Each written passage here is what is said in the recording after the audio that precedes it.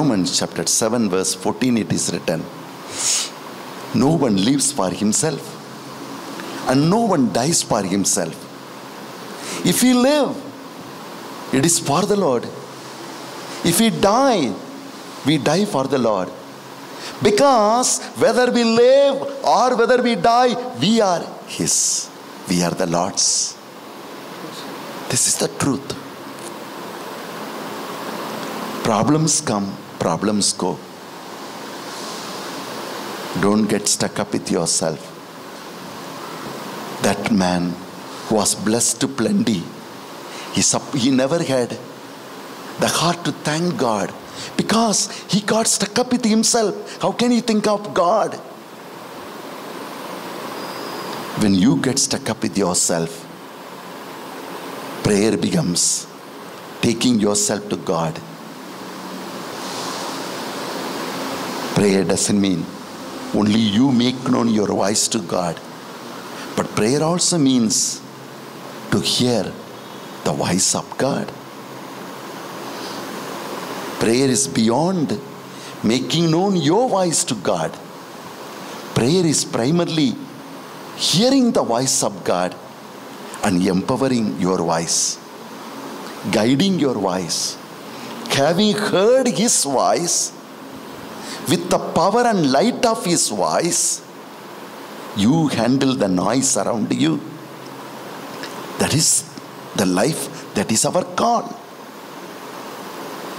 But man gets stuck up with himself, his own nice, and he can't see things beyond. People who get stuck up, God calls them fool. You are a fool. Today you are suffering. Your life never reaches the shore because you are a fool. You are stuck up with yourself. What to make yourself happy?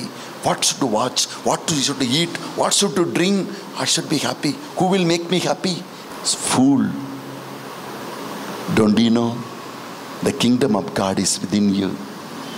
Don't you know the King of Kings, the Lord of Lords is in you? Do you know that you are because He is? Many get stuck up with themselves and they die. In the Gospel of today, that is in Luke's Gospel 12, we find a man coming and asking Jesus, Jesus, Jesus, look, look, my brother is fighting with me for the property. Please, you come and share. Jesus didn't bother. He might have felt sad. After listening to the word of God, though there is fight between two brothers, own brothers, he got stuck up with what he lost.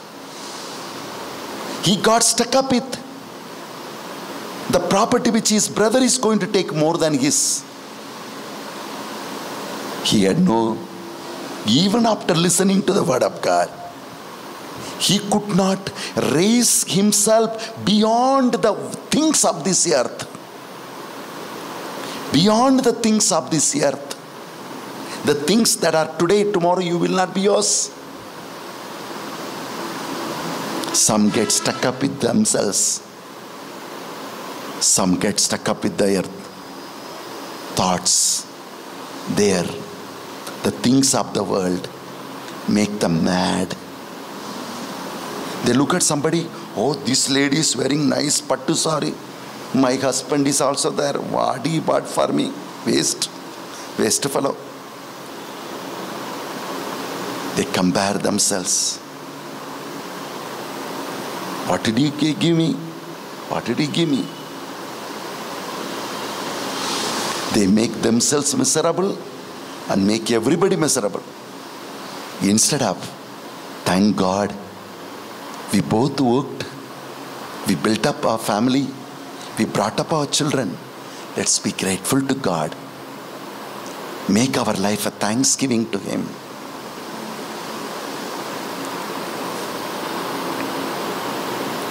A danger will come. Many people get stuck up with their own thoughts, their own things of this earth.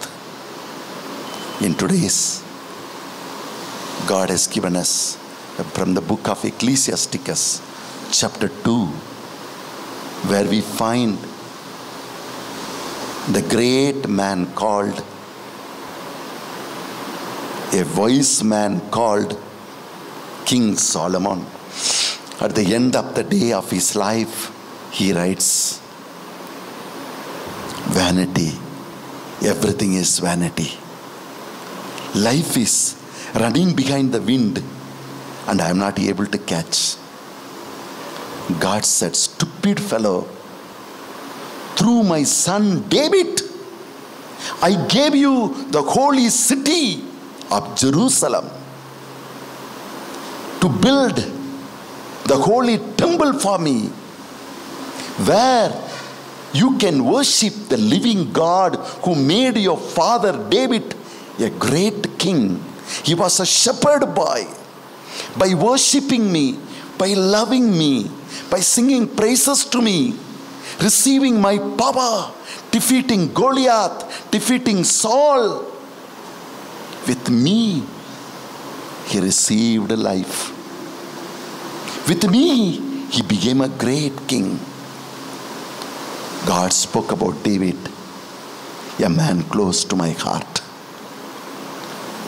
And you are the son of that great king. And to build the temple you did not yearn, my son David had prepared every piece of gold, silver, wood, stones, everything. And you went beyond yourself to see the human being. If any beautiful lady, you are running after her and you want to marry her. And that lady brings her God and comes and tells you, You are worshipping, I am not interfering. Why can't I worship my God? You had no guts to say that you belong to the living God and there is no other God than yours. You did not say, We belong to the living God. Instead of bringing her to the living God, you got stuck up with her and with her beauty and with the things that she has brought, and you allowed to build a temple in Jerusalem. All the temples of this world, all the evil forces in the world have found place in Jerusalem, and you have corrupted the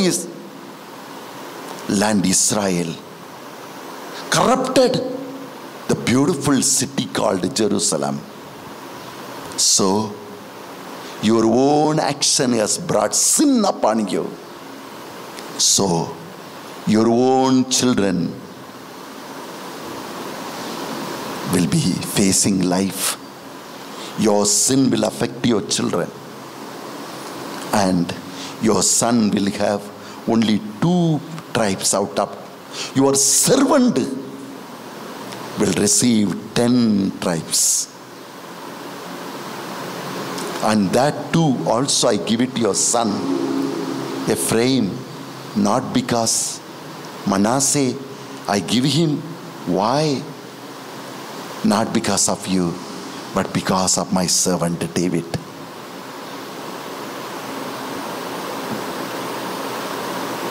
Why?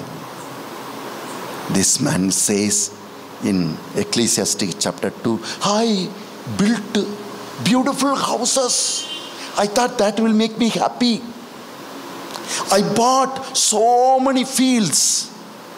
I thought that will make me happy. I took all kinds of drinks. I made myself happy. Everything is vanity, vanity, vanity. All that I thought will make me happy has made me sad. That's why in the book of Job, chapter 23, verse 10, Job says, amidst all the struggle,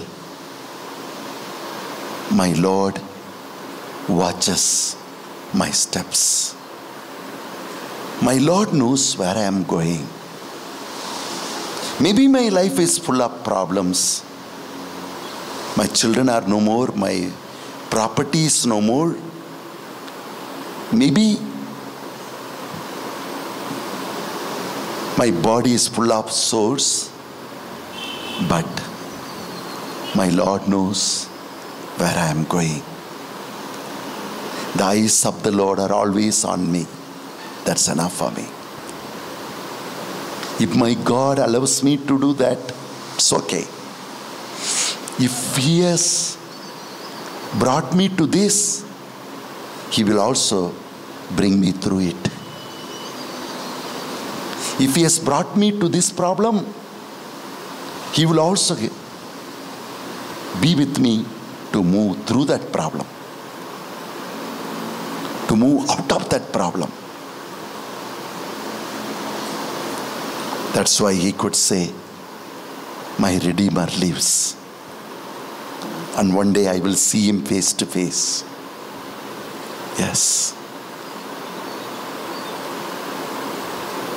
Job chapter 19, he says, My Redeemer lives. Yes. My dear friends, our life is, we can get stuck up with oneself, or we can get stuck up with the riches of this world, or to be always aware of the breath that has given us the breath. We read in John's Gospel, chapter 21. Jesus died, but the Holy Spirit gave him the breath. He rose. And when he rose with the breath of God, he saw his own disciples were frightened, they were disturbed.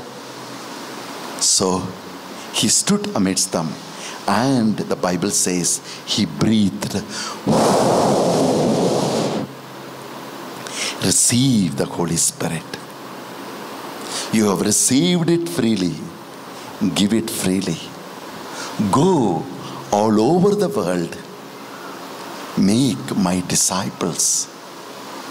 Go to the world which is dying without God and take God's love, God's forgiveness, God's mercy, God's gift of salvation. Take the message of salvation to the broken world.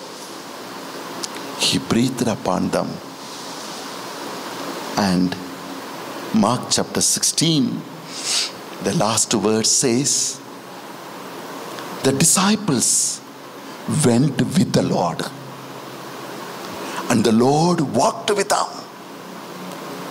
And through many wonders that happened in their lives,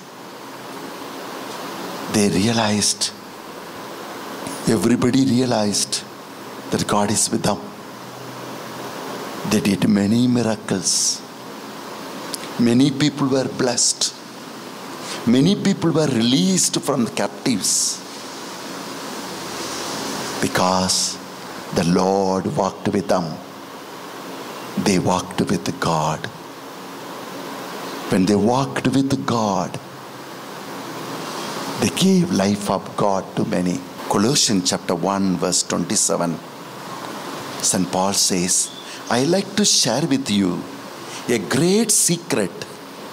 What is that secret? The one who leads every human being into the glory of God. The Holy Spirit is in you, is the secret. One who wants to give hope to every mankind. The one who can give glory to every mankind. He is in you.